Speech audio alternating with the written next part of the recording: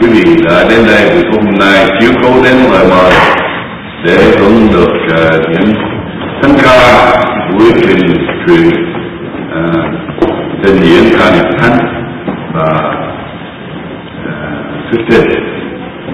Tôi tưởng là chúng ta nên có một trận bỏ tay những uh, nhạc sĩ đã đờn piano và đờn guitar và trong đó xin quý vị đó đi làm đứng đấy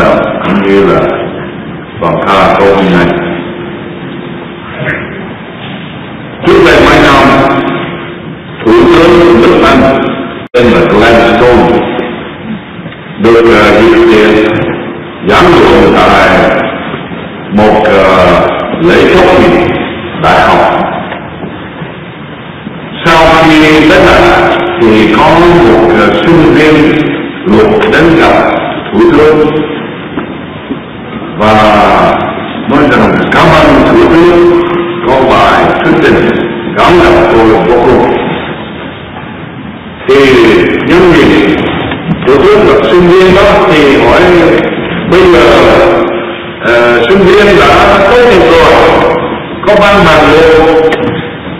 Thì sáng làm gì thì sinh viên với rằng thưa thủ tướng chắc là sẽ ra làm luật sư. Ô, thủ tướng nói rằng mừng cho cậu chúc cậu thành công. Rồi sau đó cậu sẽ làm gì thì cậu chưa suy nghĩ ra nhưng mà không lẽ có có cái lời trả lời với thủ tướng thì nói rằng có thể sau đó thì sẽ ra ứng cử quốc hội đó?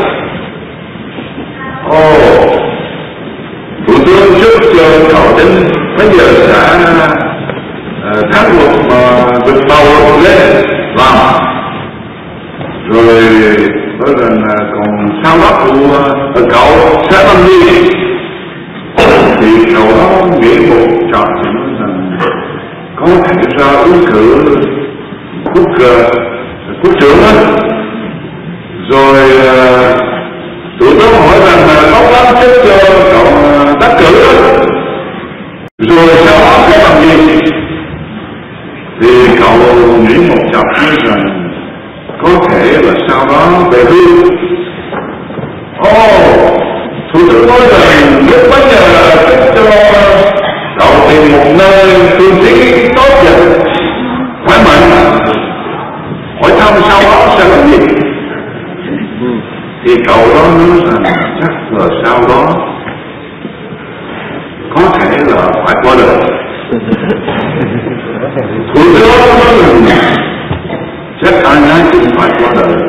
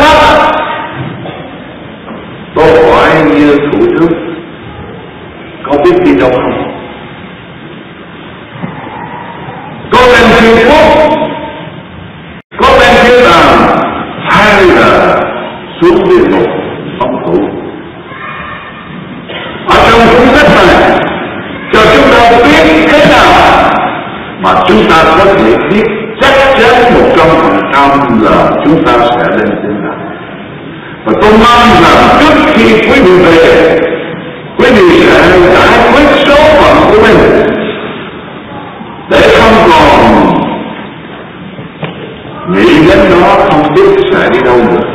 Nhưng có thể nói là biết chắc. Loài người có nhiều quan điểm về cái bước tận cùng của mình. Có người thì cho rằng sau khi chết thì sẽ trở lại một kiếp khác nữa. Cho nên họ muốn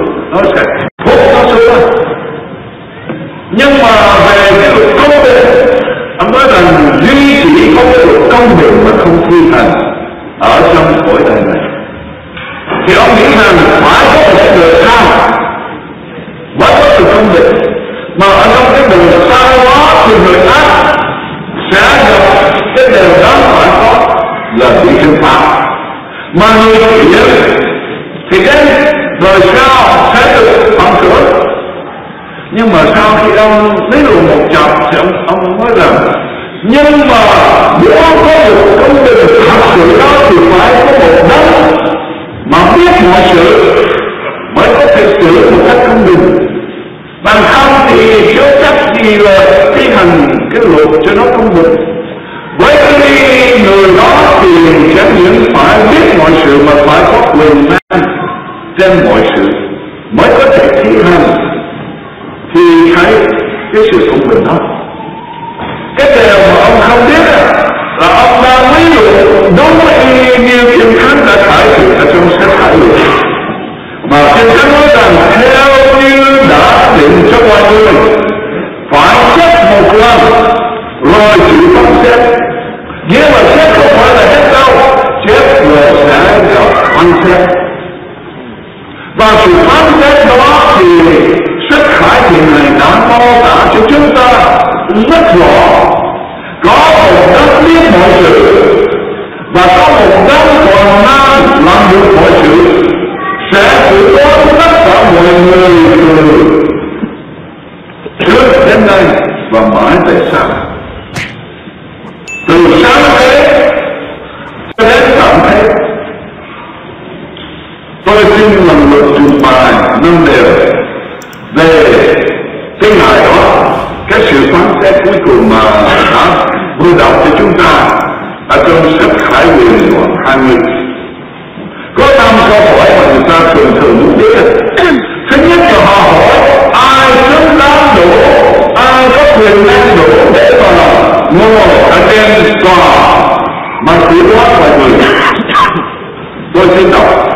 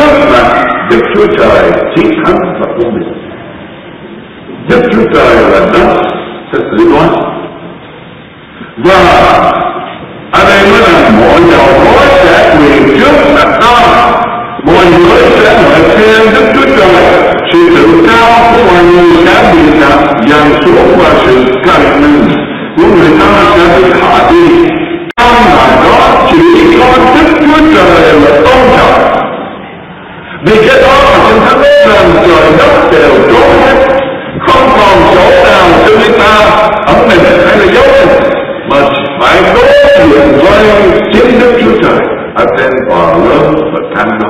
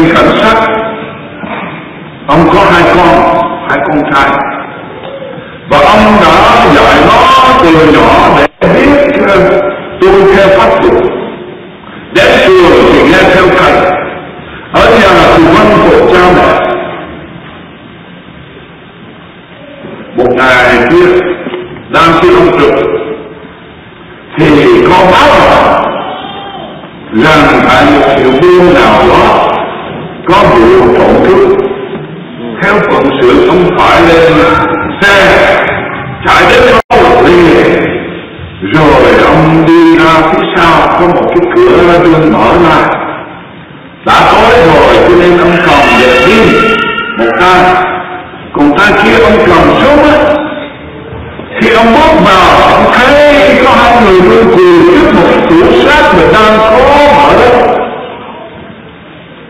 thì ông đưa, ông mở đại miếng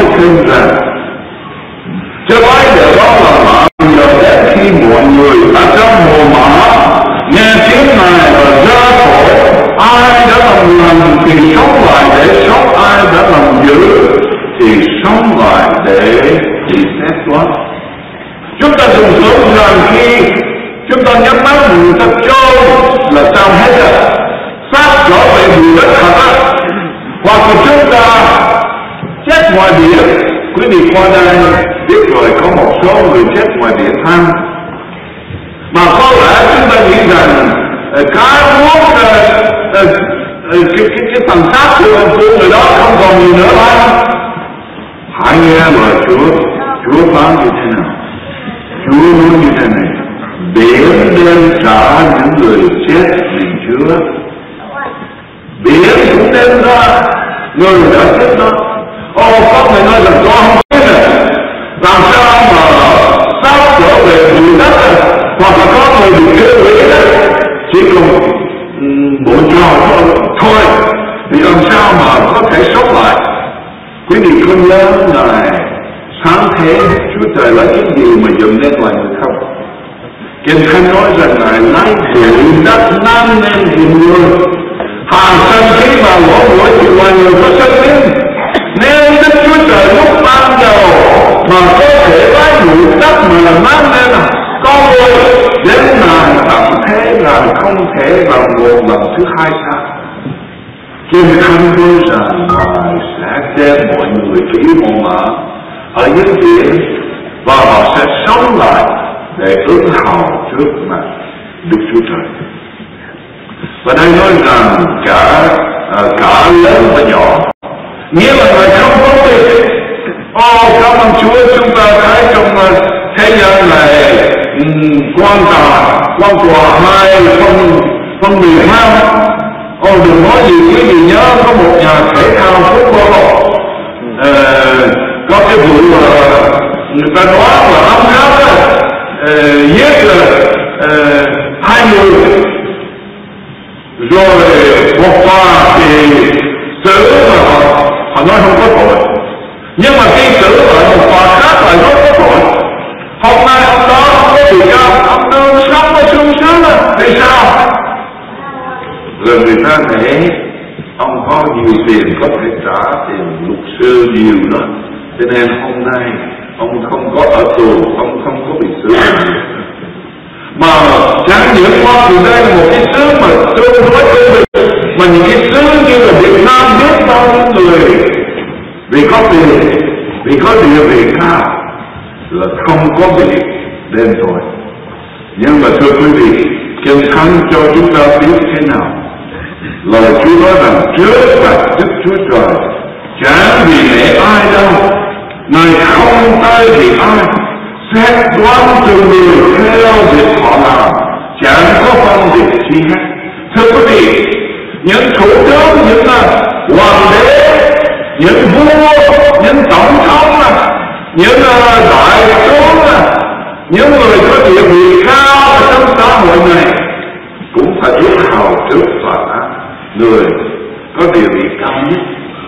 Rồi những người thấp hèn, người nhỏ nhất, có lẽ cái gì nói ô mấy người ăn này mấy người mọi mọi tôi mọi cái người mà địa vị thấp hèn nhất xã hội chắc là đến đó chúa sẽ thương không đâu tùy theo họ có hợp cùng đức chúa trời tiếp nhận chúa giêsu hay không thì đến đó họ mới được chúa à, ban sự sống đời đời. Nhưng mà người lớn thì họ. Rồi có người nói rằng ồ tôi hay làm chứng cho những người à, lão thành tôi nhớ có lần ở Việt Nam tôi gặp một cụ nói là thôi cái việc đó gần đất xa trời không còn gì giờ mà theo Chúa nữa. Tôi nói thưa cụ cụ tin Chúa cụ sẽ gần trời ta đất mà cụ người cần tin Chúa hơn hết á Ồ, trước đây một vài tuần cô thư ký của tôi vào cái nhà lão đó mà tổ chức cho một bà 99 tuổi cái chúa đó. Bà nói rằng tại sao tôi gọi nổi 99 năm tôi mới có một người nói cho tôi biết. Nhưng mà cảm ơn Chúa, không thể bà cầu nguyện xin theo Chúa trong tuổi họ là 99. Quý vị sự ốc và quý vị cao tuổi ở đây có hôm nay là người cần nghĩ đến số phận của mình hơi quan trọng vì mình không biết còn bao nhiêu ngày sẽ gặp Chúa nhưng mà cũng có người nói rằng rồi, tôi còn trả mà. Tôi nhi đồng tôi thanh niên còn lâu lắm mà. Nhưng mà thưa quý vị quý vị hàng các em, các cậu cô cần phải nghĩ đến số phận của mình, nghĩ đến linh hồn của mình. Có biết có nhớ cái câu chuyện ở Colorado không Ô mấy học sinh vào trường tưởng là này đó không có gì phải lo Nhưng mà có một vài học sinh vào đó còn xuống mà. Bán chết một số người bằng cái việc nó càng ngày càng phải ra. Mình không biết. Rồi có người lái xe. Ô tôi phải làm lễ an tám cho một người. Rất trẻ ở Omaha, Nebraska. Có một cái ờ, xe cũng như là đi chơi mát đó hai bốn cái bánh á thì ta khi đi rất là vui. Thì nó ngã. Và ngã ở trên uh, anh cậu đó mà cậu đó chết không biết. Ô mấy cậu cô mấy em cần phải nghĩ đến số phận của mình mà tiếp nhận Chúa có cả cuộc đời mình để sống cho Chúa. Người lớn người nhỏ là những người giàu có và người nghèo ông có đã quyết định đó mà. Đừng có nhiều tiền tiền chắc là Chúa để không đâu người giàu nhất cũng phải ứng hầu trước mặt Chúa. Người nghèo nhất cũng phải ứng hầu mà Chúa. Cho nên số hôm nay quý vị nhớ, ngài không phân biệt chi ngài sửa rất là công định không phải vì ai. Cả lớn và nhỏ đều phải ứng hầu trước là Đức Chúa Trời. Điều thứ ba mà chúng ta cần phải hỏi là Chúa sẽ dùng bằng chứng nào để xử đoán? Là vì muốn xử đoán các công đình phải có bằng chứng rất rõ. Nếu không thì không có sự công bình. Mà ở đây cho biết cái bằng chứng đó là như thế này. Tôi xin đọc và các sắc thì mở ra. Những kẻ chết bị sự quá tùy công việc mình làm cứ như lời đã tiên trong những sách này thưa quý vị, đức chúa trời ở trên trời. Có dần cho mỗi quý vị một cuốn sách như thế này. Mà ở trên kia sang đầu có lẽ là cái giấy khai sinh và có tên của quý vị. Ở trên đó có cuốn sách là tôn thất bình sinh tại phố Đô Huế Việt Nam, ngày 19 tháng 5 1933 nhằm ngày sinh nhật Hồ Chí Minh.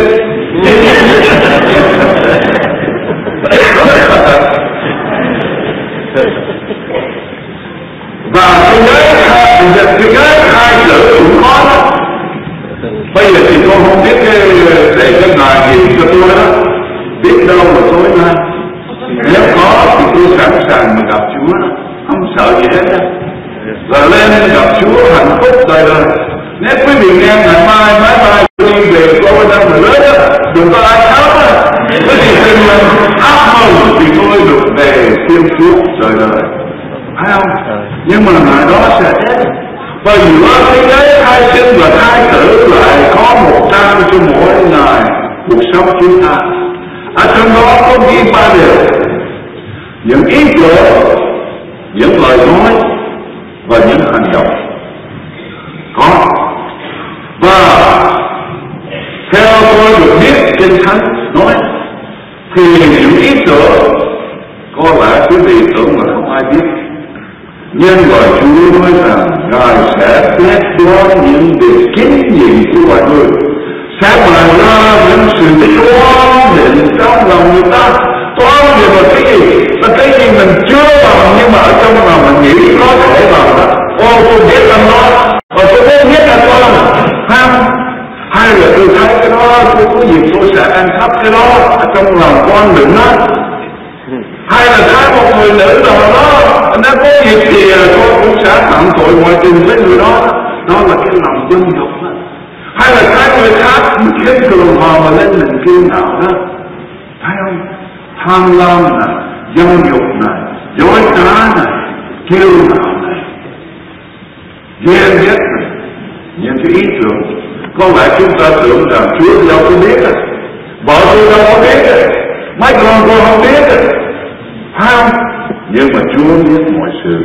Vì ở đây nói rằng Ngài sẽ xét đoán và Ngài sẽ bày ra những sự toan định trong lòng người ta. Tôi có đọc câu chuyện về một uh, người giàu có lắm à. ạ nhưng mà ông này hạ tiền rồi ông không muốn uh, một đồng xu nào mà nếu có thể ờ, có một cái cách nào mà mà khỏi đó. Ông nghe nói ông đoán là ông bị ờ, đau phổi đó. Có thể gọi ông ho đau đó thì ông muốn đi gọi điện. Thì ông tìm một cái chỗ mà họ gọi điện phổi đó. Thì ông ăn mặc cái áo hết à. Ông làm bộ như là ông là người nghèo ô thưa bác sĩ ờ, ờ, tôi tôi tôi tôi đau lắm mà. Bác sĩ ơi ờ, xin thương tôi nghèo xin gọi điện cái phổi của tôi thì bác sĩ cứu bác sĩ báo vô cô khác rồi gọi điện đi.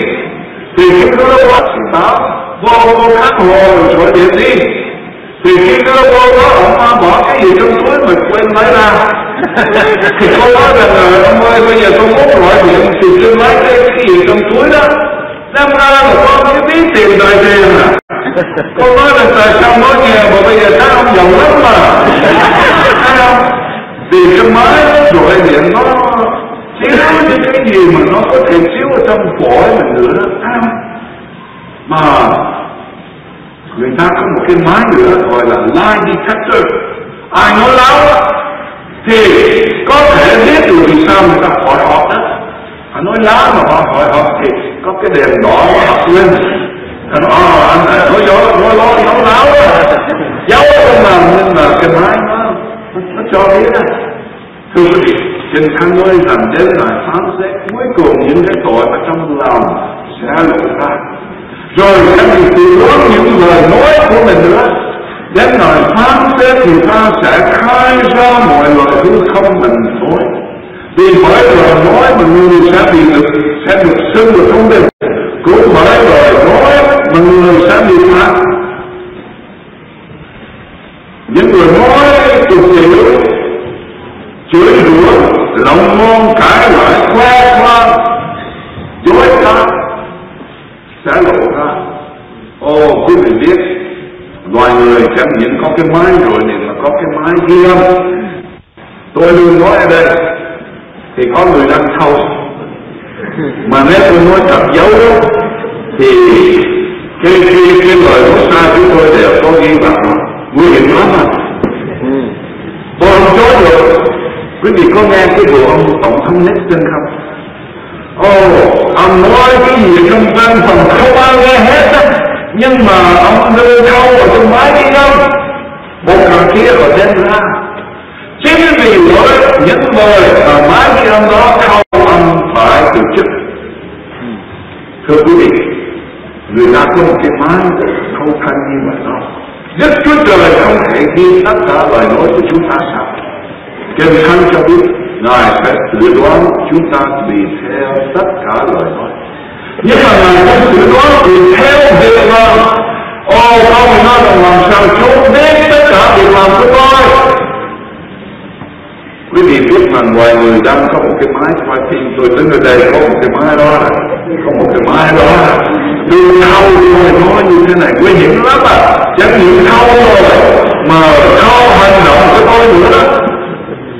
Quý vị có nghe cái vụ mà tổng thống Kennedy bị ám sát không? Có một người tên từng thứ sáu tên là Oswald. Cầm xe mà ban tổng thống tổng thống ngã chết trên xe thì họ bắt được cái anh của nó bỏ tù. Rồi là ngày kia họ, họ nên để giao cho một uh, nhà uh, nhà tù mà có thể gọi là chắc chắn hơn. Thì báo đăng tin rằng là sẽ đem ra cái nhà, nhà lao này là đưa qua một cái nhà lao khác à các ký giả trước đó có người chụp hình có người quay phim có người ghi chép từng chi một từng chi tiết một, để ghi ở trong báo thì ở trong đó có một người rất sức ghét anh Oswald vì anh đã giết tổng thống mình. Anh đó tên là anh Ruby có lẽ quý vị nhớ.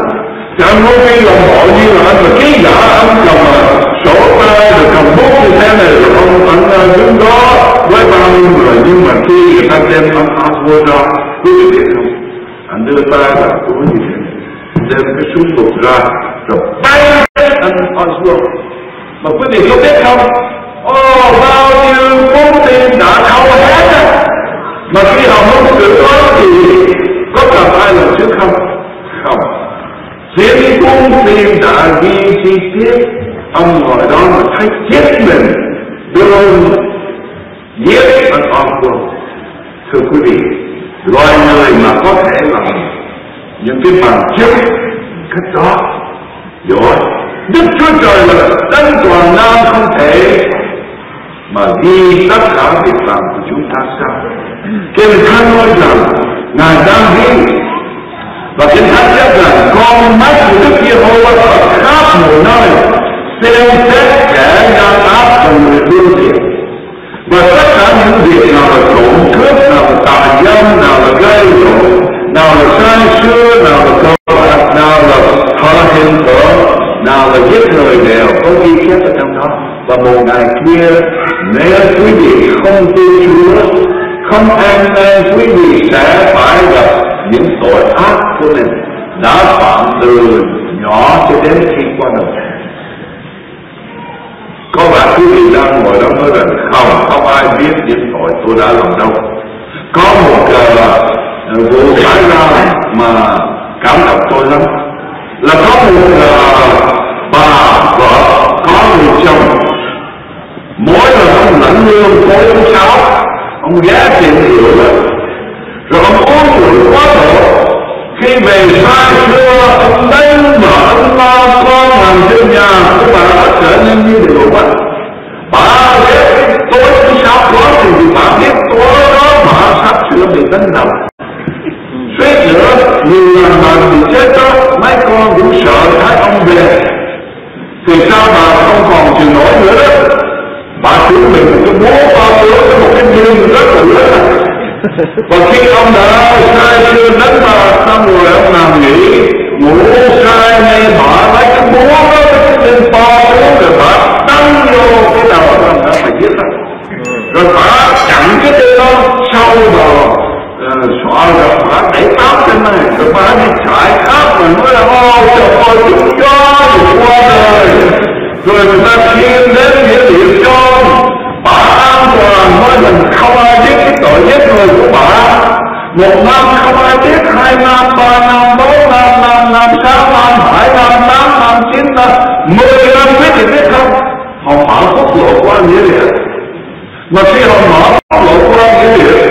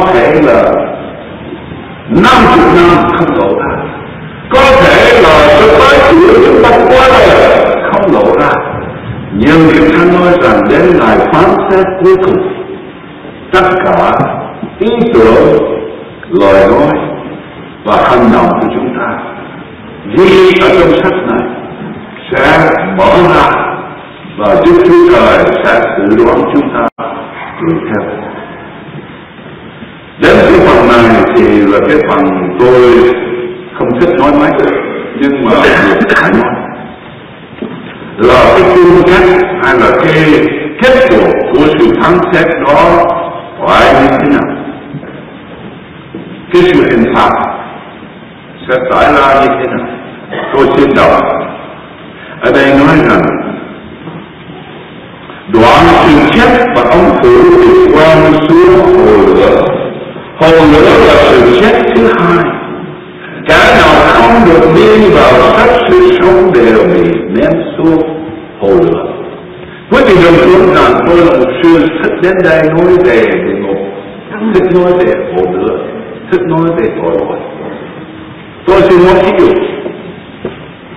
Nếu như hôm nay có một mục sư là bác sĩ, mà ông lên đây, và ông hỏi rằng là có ai có bệnh ở đây không? Ồ, có người nói rằng tôi bệnh ung thư, xin bác sĩ chữa cho. Rồi có người nói rằng ô tôi thì đau răng, người khác thì tôi là tôi sốt rét, nhưng bác sĩ chữa cho. Rồi có người nói là ô hỏi tôi tôi bị hoa lạc Rồi người kia thì nói tất người.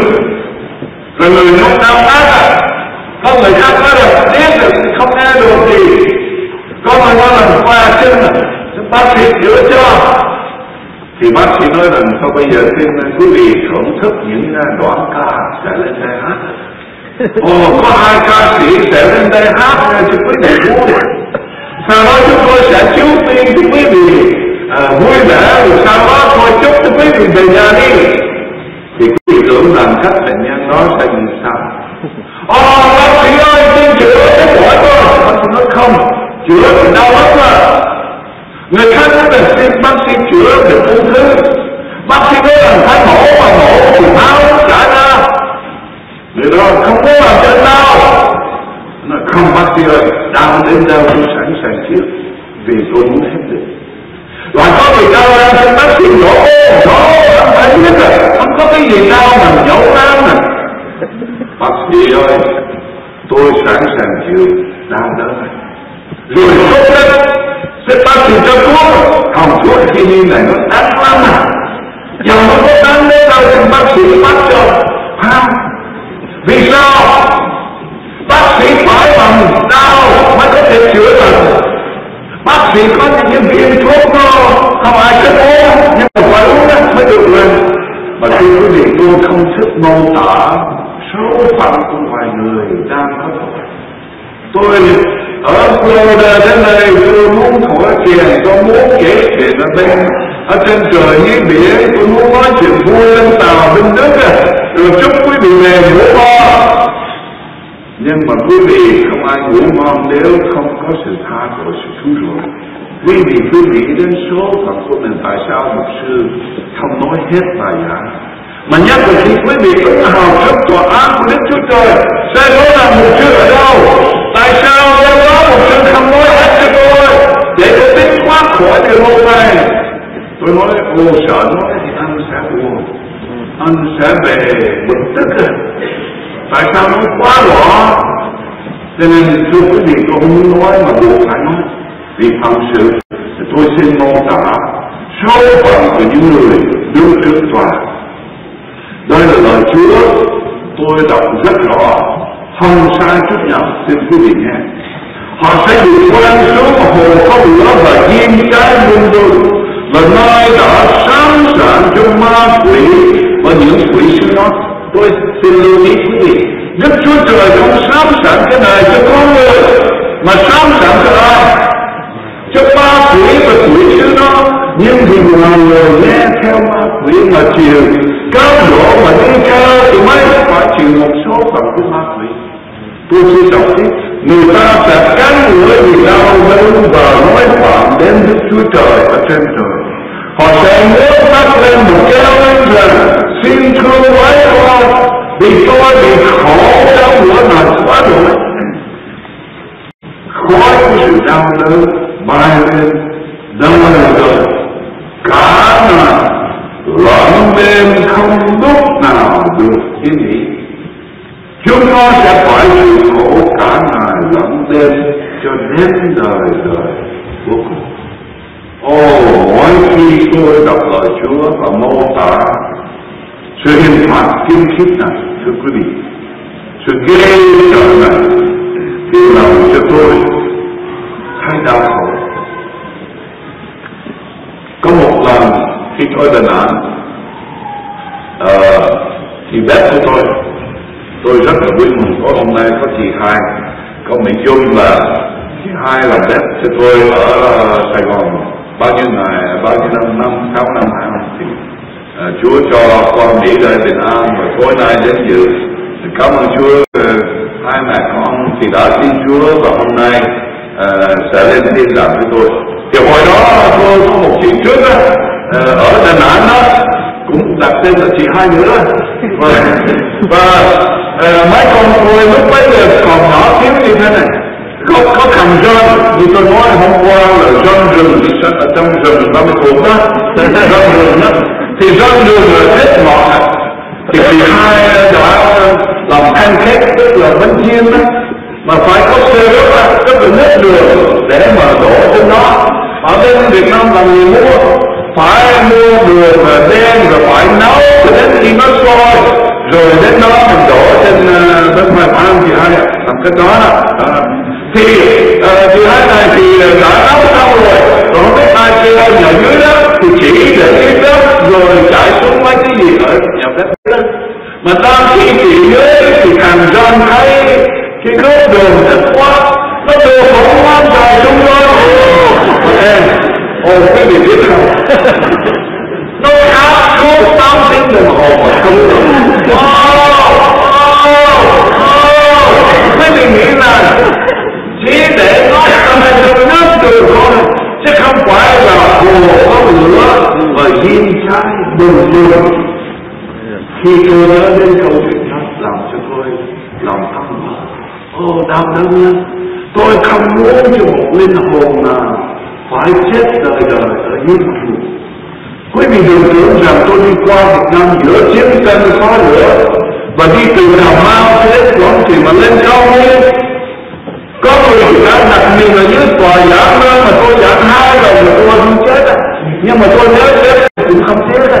Vì sao tôi muốn đi cứu tòa nhà tôi muốn cứu đồng bào Việt Nam yêu quý của tôi. Để cho không một linh hồn nào phải xuống địa ngục vậy. Nơi đau khổ mà thưa quý vị, hôm nay tôi 67 tuổi đó. Tuần đến đây tôi sẽ 67 tuổi mà tôi sẽ tiếp tục giảm cho đến hết hơi thở nếu xuống được chỉ một linh hồn nữa, khỏi địa ngục thì đáng phải tạm tâm tận lực mà đi mà nếu họ chỗ cho tôi trở lại Việt Nam, tôi sẽ đi từ Cà Mau cho đến Hà Nội và tắt nữa mà truyền giảng vì sao không muốn cho một linh hồn nào phải xuống một nơi đau khổ như vậy. Nhưng thưa quý vị, phần chót của tôi là một phần vui thật, một cái tin mừng cho quý vị. Quý vị mới nghe về hồ hơn nữa nhưng sai tùng vườn nhưng mà bây giờ tôi xin thưa với quý vị, có một bản ân xá. Quý vị biết một bản ân xá là như thế nào không? Ồ, nếu có một cơn phạm đáng phải chết mà sắp sửa sắp sửa bị tử hình, có thể phải đến trước một số đến sẽ bắt chết Giả tiền mà tôi thắng bình dương và tù. Mà tôi ngày mai phải bị tử hình. Quý vị tưởng rằng tối đó tôi có đủ yên không? Chắc là mỗi giờ đồng hồ nó kêu tích tích rồi cái chuông nó theo một nhật viên ồ tôi biết bảy giờ họ sẽ đến nước tôi đi hai giờ tôi bắt đầu run ba giờ ồ tôi biết qua đi rồi chỉ còn bốn tiếng nữa rồi bốn giờ rồi năm giờ rồi sáu giờ sáu giờ rưỡi sáu giờ bốn mươi lăm sáu giờ năm mươi lăm có người đến à có con thắp đèn ở đâu không ở đâu tôi này có chi không à, tôi có một cái giới sinh độc ở đây à, tôi thắp lên được ba tuổi được thả về tôi hả phải đây có cái chữ viết tổng thống mà à cô hôm đó thì tôi làm gì tôi nhảy luôn tôi chạy ra ô tôi ra còn mà quá đi tôi được tha tuổi thưa quý vị Kinh Thánh có nói đến một bản ân sát ở đây tôi xin đọc cho quý vị ở trong sách Hải Quyền cũng có mở một quyển sách khác nữa là sách sự sống sách sự sống là gì sách sự sống là tên của những người đã đầu của Chúa Trời đã ăn năn tội đã biết nhận Ngài làm cứu chúa của mình khi hôm tôi giảng có mấy người đã cầu nguyện tin theo Chúa khi họ tin Chúa quý vị biết không ở trên trời các thiên sứ đang hát tuần về mấy linh hồn đó trở lại mà ghi tên của họ đi ở trong sách sự sống và đến ngày phán xét họ không có đứng trước tòa án vì tên của họ có ở trong sách sự sống quý vị nào ở đây mà đã tiếp nhận ngài làm cứu chúa mình cứu chúa của mình sẽ không lúc hầu trước tòa lớn lắm. Là vì có tên ở trong sách sự sống. Có tên ở đúng chỗ thì rất là khó là cần thiết. Tôi biết có một lần tôi muốn đi đời loại đó. Và khi tôi đến phi trường tôi trình bá nó được rồi. Nhưng mà họ tuyên trên cái giấy thông hành của tôi cái, cái passport. Họ mở ra. Họ nói ủa ông không có cái chiếu kháng của úc à ông không được lên máy bay. Thôi xin ông về nhà. Oh, tôi nói với họ là cô có hứa hẹn qua bên nói giỡn mà. Có người sẽ tiếp tôi và đi đường họ nói không? Chúng tôi có lệnh là không có visa là không có được lên máy bay này. Tôi nói là không. Tôi mua vé mà tôi trả tiền đồng hoàng mà. Có người đang chờ tôi lên đó mà phải có visa mới đi được. Thưa quý vị kinh thánh nói rằng chúa sẽ mở sách sự sống. Mà nếu có tên của quý vị trong đó, quý vị sẽ được lên thiên đàng, đời đời hạnh phúc. Không phải vì cái gì mà quý vị làm, nhưng vì cái công vụ mà Chúa đã làm khi Ngài chịu chết trên thập tự giá. Vì quý vị biết không Kinh Thánh nói rằng tất cả những tội chúng ta ghi ở trong sách việc làm này thì Đức Chúa Trời ở trên trời này, ví dụ cái bàn tay này là tôi thất tình Ngài thương tôi nhưng mà Ngài biết tội ác ở trong sách này.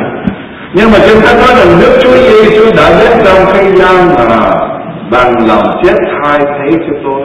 Cho nên tất cả tội ác của tôi đều chắc ở trên Chúa Giêsu và khi tội lỗi của tôi đều xét ở thêm Chúa, tôi được xưng công định như là mẫu mà bây giờ thì tôi được lên thiên đàng không phải vì điều tốt của tôi, nhưng vì sự chết của Chúa Giêsu trên thập tự Ồ, nếu quý vị tiếp nhận Chúa trong hôm nay, tội ác của quý vị đang ghi ở trong sách này sẽ trao cho Chúa Giêsu Christ và Ngài sẽ mang lấy mọi tội ác của chúng ta của quý vị.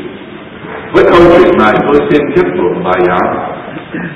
Khi tôi ở phố Đô Huế, ba năm tôi phụ trách một cái trung tâm thanh niên và ở trong trung tâm thanh niên đó có một số sinh viên và một số học sinh cơ đốc họ đang học và họ uh, phát cỏ họ sơn cửa họ trúc phòng đọc sách họ lo nhiều việc để chúng tôi tiếp trợ cho họ có nơi ở và thức ăn.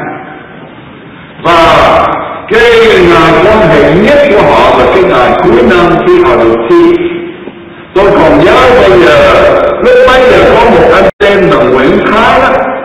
Nguyễn Thái thì đã thi tú tài quan văn và muốn lên học đại học, nhưng mà phải đậu tú tài toàn phần mới lên lên được thì đi khi về có hỏi Thái đỗ mình có đậu không? Phải nói mình chưa biết à. Có hỏi tao thì sẽ biết à.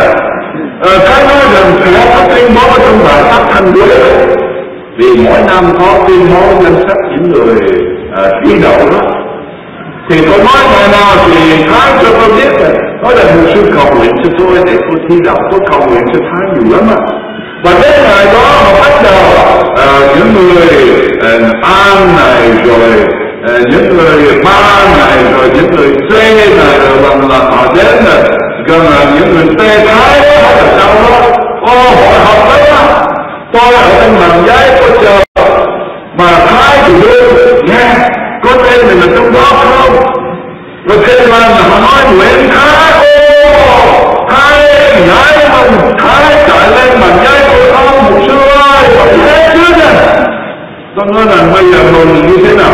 Mừng và xin mời buổi sư đi ăn à, một tô phở đúng không thì mọi người bỏ lấy được rồi. Học sinh nghèo không có thể giải tiền mừng đó đưa ăn à, bún bò đấy đó mà tôi không có được cái cái đến hôm nay vì sao? Nghe tên mình được tuyên đọc tên là quê lâm. Thưa quý vị sự vui hai không có thể sánh kịp với sự vui mừng của quý vị khi ở trên trời Đức Chúa Trời tuyên đọc tên của quý vị Thôn Thất đình có tên là trong sách này được lên thiên đàng sương sớm vô cùng thưa quý vị. Buổi tối hôm nay quý vị nào mà chưa có đứng dậy một cái số người mà khi ông mục sư à, hỏi ai là có đốc nhân đã tin Chúa rồi đứng dậy quý vị nay buổi tối hôm nay có thể tiếp nhận Chúa để tên mình được đi vào sạch sự sống. Quý vị được tha tội được cứu rồi có sự sống đời đời mà không còn sợ chết nữa.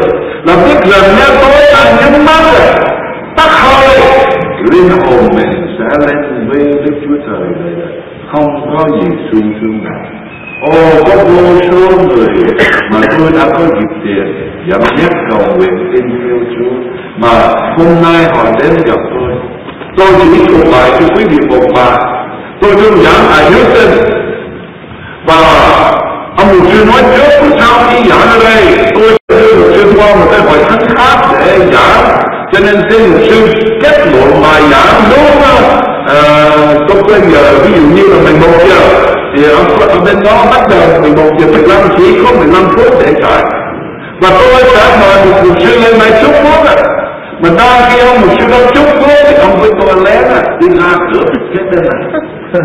Thì ông mục sư mà lên chúc phước ông bảo là hết phải mọi chúng nhắm mắt. Rồi cầu nguyện nè ông chúc phước à quý vị biết không? Tất cả đều cúi đầu nhắm mắt trừ ra một bà phía sau. Bà thấy tôi với ông mục sư chạy ra cửa này thì bà chạy ra cửa phía sau. Mà coi như chạy đến xe van á thì bà chạy theo ông giáo thiện mục sư ơi con đã không có cái gì mà tôi phải đi giảng mà. Con đã bà nói là ông có nhớ tôi không tôi không nhớ. Ông giảng chính là đã đạo con mà đêm đó tôi tin chúa trước ta hai mươi mấy năm. Rồi bà đưa cho tôi một cái bì thơ ở trong đó cảm ơn mà có hai tờ một trăm. Bao nhiêu mà bà đưa cái và bà nói với mục sư không có cái gì mà cao ông à ông đủ ông đã dẫn dắt tôi mà từ cái giờ phút đó đời sống tôi hạnh phúc không thể tưởng được nên ông nhận cái lời cảm ơn với cái quà cảm ơn. Tôi không bao giờ quên ngày đó, vì sao? Khi tôi lên thiên đàng, tôi mong rằng quý vị sẽ phải đến mà nói là ô ông mục sư ơi ông có nhớ cái đêm ở tại ghế ông giảng ở trong cái trường là trung học mà tôi đến đó lúc nào đến chưa tin chúa, nhưng mà khi ông kêu gọi đó, tôi bằng lòng cầu nguyện tin theo chúa đó, mà tên tôi được ghi vào sách sự sống và từ ngày đó cho đến hôm nay, hạnh phúc đời đời vô cùng. Thưa quý vị quý vị có thể thưởng thức cái sự vui mừng đó mà không còn sợ chết nữa. Xin quý vị vui lòng cúi đầu và cầu nguyện cho tôi. Tạ ơn ban ngôi Đức Chúa Trời và Cha yêu quý chúng con. Ngài đã xuống phước cho chúng con ở trong Chúa Chúa Giêsu Ngài ban cho chúng con cơm ăn, nước uống phải thở. Ngài ban cho chúng con sự sống đời đời ở trên trời. Và Ngài muốn cứu rỗi tất cả mọi người ở đây hôm nay. Chúa ơi, xin Ngài đừng bỏ qua ai. Nhưng xin Chúa cảm động thuyết phục mở lòng ra, ban cho họ công đức tin đến Chúa Giêsu để tối nay họ sẽ tin Chúa kịp không mất cơ hội này để nhận sự tha tội sự cứu rỗi để đem họ được ghi vào sách sự sống.